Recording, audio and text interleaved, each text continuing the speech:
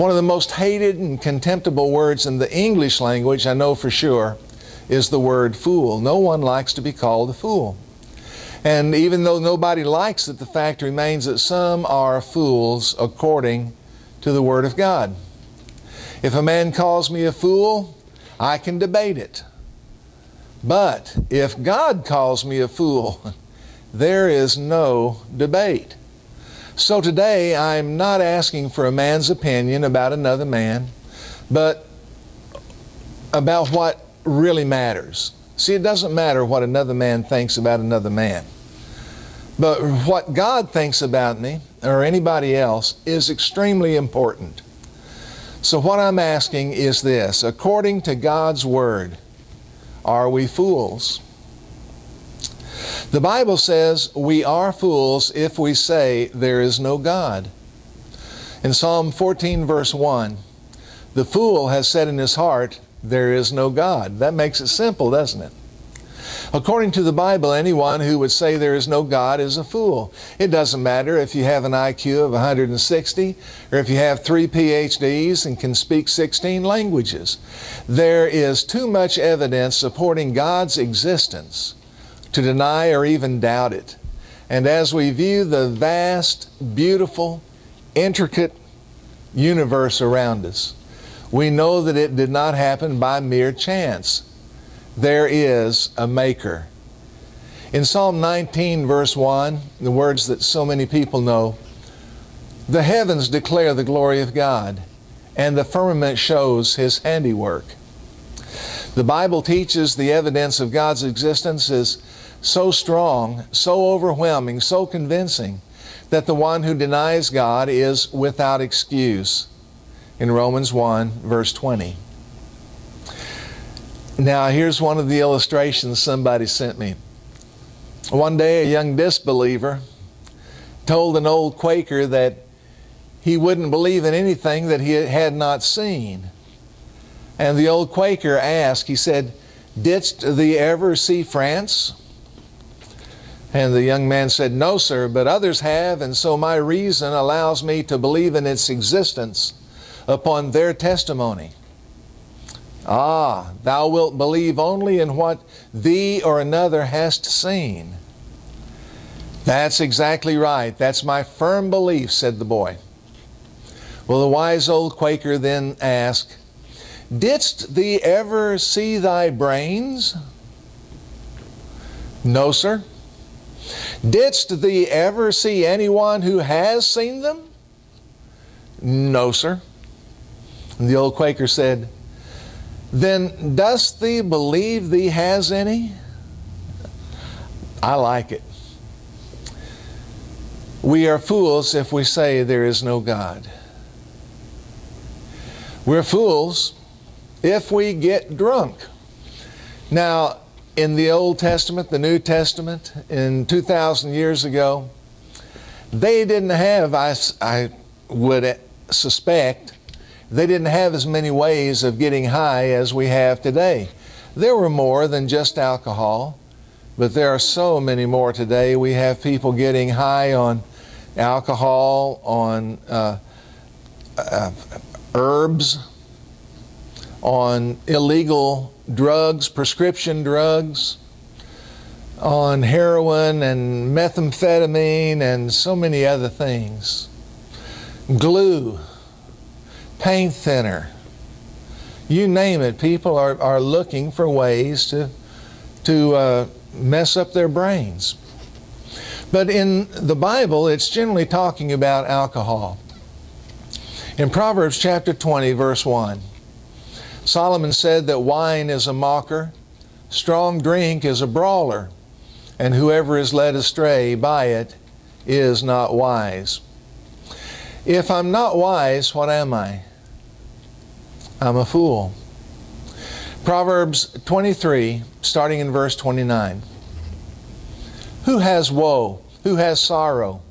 Who has contentions? Who has complaints? Who has wounds without cause? Who has redness of eyes? Those who linger long at the wine, those who go in search of mixed wine. Do not look on the wine when it is red, when it sparkles in the cup, when it swirls around smoothly. At the last, it bites like a serpent and stings like a viper. Your eyes will see strange things, and your heart will utter perverse things. Yes, you will be like one who lies down in the midst of the sea, or like one who lies at the top of the mast, saying, They have struck me, but I was not hurt. They have beaten me, but I did not feel it. When shall I awake that I may seek another drink? He's confused. He's a red eyed brawler who talks too much. That's the story. That's the passage in a nutshell. There's a story told about a man who was addicted to strong drink and who could never find his house when he started home in the dark. And so finally he decided to hang a lantern on his gatepost. That way he would know which house was his. He did so, and in the late hours of the night he started home. He came to where he could see the lantern. Yep, that's my lantern, he said. He took it down and went on further. Yep, that's my door. He opened it and he went inside. Yep, this is my living room. He held the lantern up so that he could see, and he saw his wife sitting there on the couch in the arms of another man. Yep, that's my wife. And oh, ain't that sweet? There I am loving on her. Hey, wait a minute. If that's me on the couch, who's this crazy fool standing here holding this lantern? Well, not only does alcohol make an utter fool out of you, it does an untold amount of harm to others around you.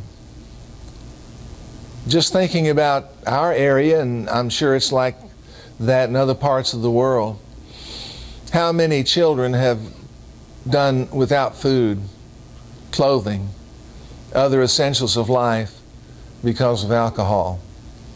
How many spouses have been beaten and deprived of a decent home because of alcohol? How many innocent people have lost their lives in car wrecks because someone was under the influence of alcohol? Truly, the one deceived by it is not wise. I spent 34 years in the military. My first four years were uh, enlisted and working on the flight line. And I got to know a lot about people in that four years, my first four years. And I would watch people uh, go and get drunk. And I had various friends that would get into one kind of trouble or another, mainly by drinking. And so I speak from experience when I say a person has to be a fool to get drunk like this, to not know where he's at or what he's doing. I had one friend that uh, started drinking and got into a poker game. You know how hard it is to win at poker if you're drunk? Well, he lost all his money. We were overseas. And uh, he left and went through the wrong door and ended up on the fire escape and fell down it and almost killed himself. They found him lying out by the road. They took him to the hospital, patched him up. And he missed a few days' work because, primarily, of his drinking. And I can tell you so many other stories, but we really don't have time. I think you understand the bottom line truly we are fools if we get drunk.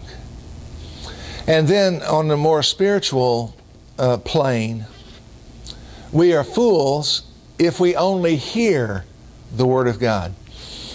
Now, I'm glad we hear it, but we have to do more than that. I meet people every day who know what the Bible says, but who will not admit to what it means. They're content to know the Word, but they refuse to heed what it says. There are millions of people like that in the world today.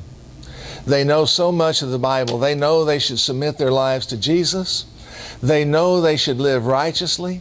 They know they should faithfully attend worship.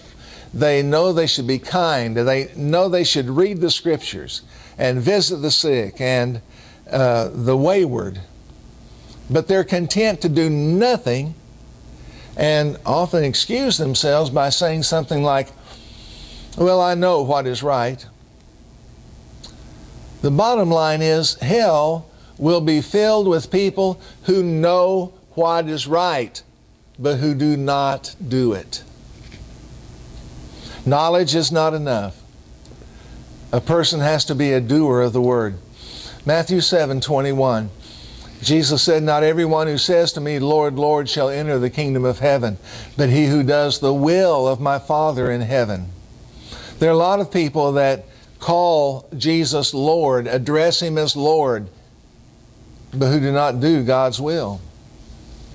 Luke 6:46 says, "But why do you call me Lord, Lord, and do not do the things which I say?" Over in James 1, 22, we're told, Be doers of the word and not hearers only, deceiving yourselves. And then later on in James chapter 4, verse 17, Therefore, to him who knows to do good and does not do it, to him it is sin. Next, we are fools if we sow one thing in life and expect to reap something else in death. What would you think of a man who planted Johnson grass and expected to get tomatoes from it? Does that sound wise or foolish? Well, so is the man who thinks that he can plant a life of sin and harvest something else in death. Galatians 6, verse 7 says, Don't be misled. You cannot mock the justice of God. You will always harvest what you plant. In Luke 16, 29 through 36, Jesus tells the well known story about the rich man and Lazarus. You know the account. The rich man lived a good life, Lazarus was a beggar. When the rich man died, he went to torment because of what he had sown in life, and Lazarus went to his rest in paradise. When the rich man complained about his fate, Abraham said, Son, remember that during your lifetime you had everything you wanted, and Lazarus had nothing. So now he is here being comforted, and you are in anguish. One time, a Sunday school teacher told his class about the rich man and Lazarus, and when he finished the lesson, he asked the class, Which would you rather be, the rich man or Lazarus? And one boy promptly answered, I would be the rich man while I live and Lazarus when I die. Now, that's not, he's, he wasn't being smart. He was just saying what most people really want. They want to live like the devil now and go to heaven later. See, the boy didn't know it, but he expressed the desire of millions of people. They want to live like the rich man and die like Lazarus, but nothing could be more impossible. We cannot live like the rich man and enjoy the blessings Lazarus had when he died. Why? Because the Bible says, Whatsoever a man sows, that shall he also reap. If we live like the rich man, forgetting God, forgetting man, we will be cast into the fires of hell, not for a day, not for a week, not for a year, not even for a thousand years, but for all eternity. Matthew 25, 41. Next, we are fools if we do not believe that Christ is coming again. The Bible clearly teaches that Jesus is coming a second time to judge the world. John 14, verse 3 says, And if I go and prepare a place for you, I will come again and receive you to myself, that where I am, there you may be also. In Acts chapter 1, verse 11, Men of Galilee, why do you stand gazing up into heaven? This same Jesus who was taken up from you into heaven will so come in like manner as you saw him go into heaven. And then Hebrews 9 28. To those who eagerly wait for him, he will appear a second time apart from sin for salvation. You know, fools often mock this teaching by saying, Where's the promise of His coming? You don't really believe Christ is coming again, do you? After all, it's been nearly 2,000 years since Christ made the promise. Maybe He's forgotten His promise, or perhaps He's unable to come.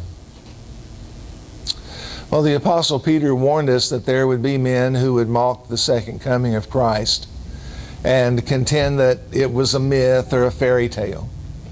But I want you to listen to the forceful way Peter refutes these mockers.